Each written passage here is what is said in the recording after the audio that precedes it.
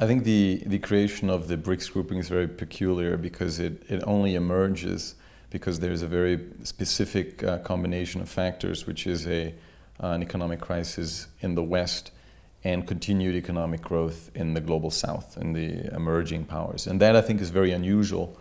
And um, I, I, always call it a window of opportunity. There was a, usually the, the West has been able to set the agenda and provide security and stability for the international system, for the international economy.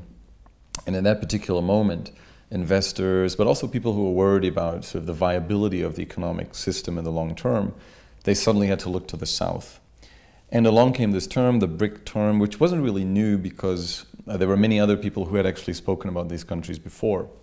Uh, George Kennan in the 90s called it the monster countries, which were exactly the same countries. So, because of this combination about the crisis in, in the, the first decade of the 21st century, uh, it sort of caught on and the countries liked it. The actual BRIC countries had started meeting, and, and, uh, and that created sort of this institutional structure which exists until today. Um, but I think it's always worth remembering that it was just because of the um, financial crisis and the growth in the South at the same time that actually made possible the creation of this, this group of, of emerging powers. Initially, the BRICS countries only cooperated in the area of international finance because that was seen as the major difficulty of international order.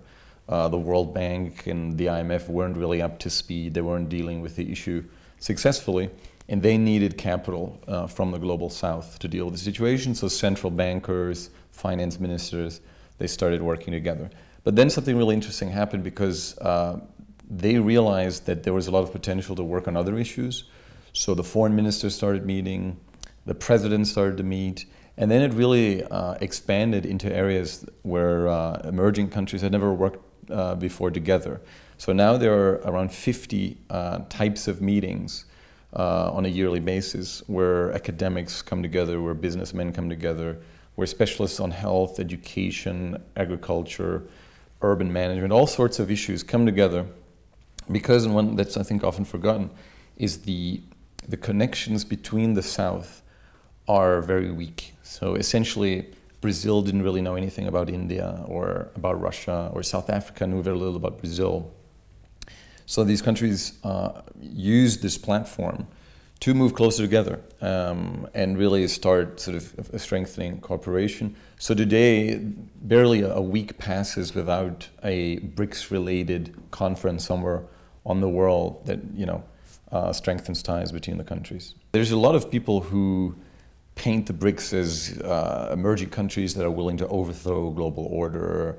And a lot of people cite the uh, Crimea crisis because uh, that was a moment when the BRICS countries all together stood by Russia in a way and criticized uh, Western attempts to isolate Russia.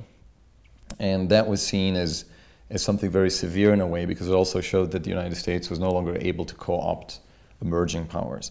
I think that is not a typical example because the BRICS really don't have a plan to overthrow existing structures, mostly because they benefit a lot from the way things are. I think they're um, skeptical about the special rights and privileges the United States enjoy in the system, and they would like to reduce those rights.